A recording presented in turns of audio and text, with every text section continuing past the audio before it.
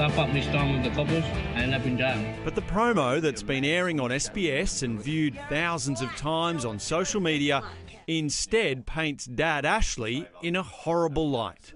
He was diagnosed with dementia during filming. Anybody gives any of my kids any drugs, I'm going to tear him to pieces. I don't give a if he's a bikie. I don't give a if he's got.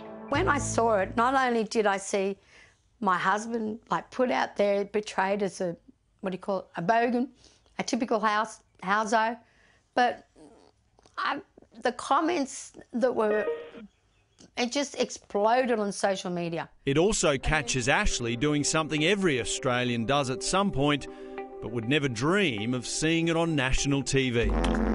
I don't remember farting or anything like that, but you know, I'm at home, I fart, you know what I mean? I'm not expecting people to film me and throw me on social media. If Tony Abbott farted, would they put it on television? I'm just so, so gutted by it because my husband is not like that. My husband is not having, showing the, him out the front of our house farting, putting that on national air. Peta is well known in the community for her volunteer work.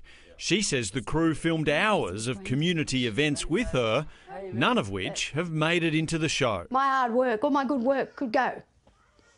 That's what's damaging. That's it.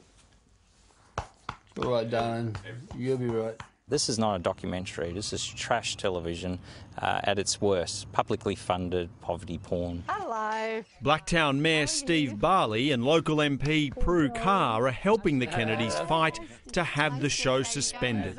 They too are appalled at what they've seen. It doesn't actually provide any substance to the uh, the story. It doesn't have any justification. It just attacks people at their most vulnerable moments. This was going to be a documentary that would show what people can achieve um, against adversity and rising above that and doing well in their lives. And they agreed in good faith to be part of that because of that promise. But instead, it's been the opposite. They've used particular footage to paint Mount Druitt in a negative light. They believe people like Peta Kennedy should be applauded for her community work, not destroyed for a TV show. All the different works that she's helping, none of that's mentioned. This is just attacking the integrity of these people and exposing them to the public in a negative light. Uh, and they will be just trashed there the next day, their reputation gone. We don't drink, we don't smoke, we're not on drugs, we don't gamble, you know, all our money's used on medical or in our house, right? And for us to be labelled like that, where I'm sitting on the veranda farting, they think, what, these bitches a big fat slob, they're looking for an easy way out or something, you know? They're not the only ones oh, unhappy with their portrayal. I'm going to pack up and leave if it hits the air. I've got to get. You're going to leave town. Yeah. I don't think we can stay in, mate. Billy Joe Wilkie and Bob Quinn are shown in the program oh, affected by drugs and even using them. Like when I was pulling a bong, for an example, like, do you know what I mean? Like, that's my business, do you know what I mean? Not everyone else's, so it shouldn't have been broadcast.